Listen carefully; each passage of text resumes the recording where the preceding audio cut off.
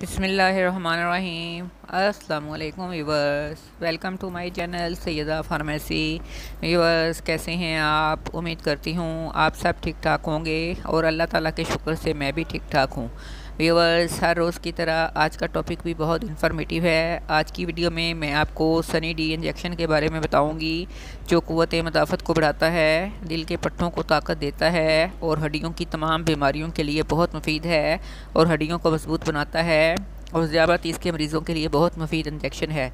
Video में बताया जाएगा सनी डी इंजेक्शन को किन किन कंडीशन में इस्तेमाल किया जाता है, इसके फ़ायद और नुकसान क्या हैं, इसका तरीका इस्तेमाल क्या है, इसकी फार्मोलेशन क्या है, इसके प्राइसिस क्या हैं, और वो कौन से लोग हैं जो सनी डी इंजेक्शन का इस्तेमाल नहीं कर सकते।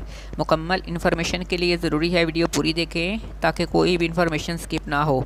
लेकिन उससे पहले मेरी नए आने वाले नाजरीन से रिक्वेस्ट है, जो नाजरीन हमारे चैनल सैदा फार्मेसी पर न्यू हैं वो हमारे चैनल को सब्सक्राइब करें और साथ लगे बेल आइकान के बटन को लाजमी प्रेस करें ताकि मेडिसिन से रिलेटेड इन्फॉर्मेशन बर वक्त आपको मिल सके।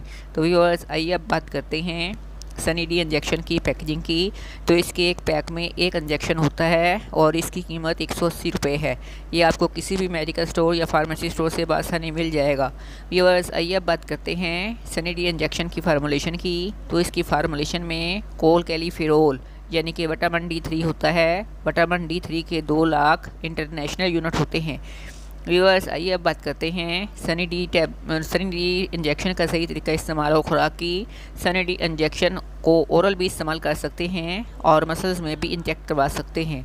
और इस्तेमाल करने के लिए इंजेक्शन को एक कप नीम गर्म दूध में मिलाकर पी लें और हफ़्ते में एक इंजेक्शन इस्तेमाल करना है। महीने में चार इस्तेमाल करने हैं और छः से ज़्यादा इंजेक्शन इस्तेमाल नहीं करने और दूसरे महीने में पंद्रह दिन के बाद एक इंजेक्शन इस्तेमाल करना है। बच्चों की बात करें, जिनकी उम्र आठ से बारह साल तक है, वो छः माह में एक इंजेक्शन इस्तेमाल करें।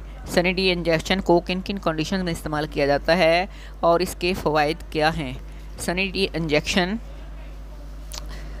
Sunny D injection, vitamin में विटामिन डी की थ्री की कमी को पूरा करता है और हमारे इम्यून सिस्टम को मज़बूत बनाता है, जिससे हमारा जिसम मुख्तलि बीमारियों से महफूज रहता है। सनी डी इंजेक्शन दिल के पट्टों को मज़बूत करता है।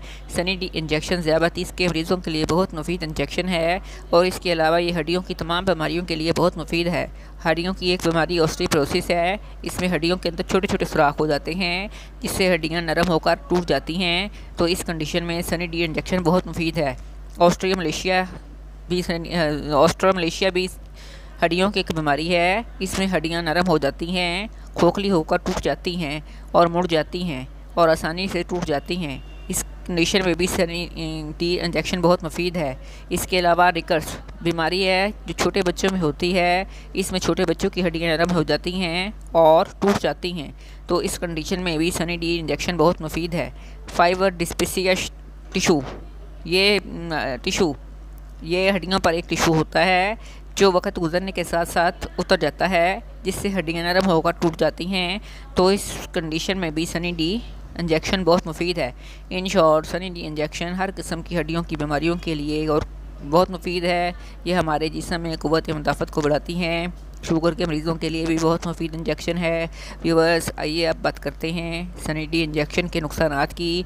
तो ये सेफ़ टू यूज़ इंजेक्शन है। इसका कोई नुकसान नहीं है, लेकिन इसकी ओवर डोज लेने से आपको नुजिया हो सकता है, आपको उल्टी आ सकती है। आपका मैदा अपसेट हो सकता है, आपको डायरिया हो सकता है। व्यूअर्स, आइए अब बात करते हैं, वो कौन से लोग हैं जो सनी डी इंजेक्शन का इस्तेमाल नहीं कर सकते? ऐसे लोग जिनको सनी डी इंजेक्शन के किसी भी अज़ा से एलर्जी है, वो इस इंजेक्शन का इस्तेमाल हरगिज़ ना करें, जिगर वाले मरीज़ और गुर्दों वाले मरीज़ इसका इस्तेमाल हरगिज़ ना करें।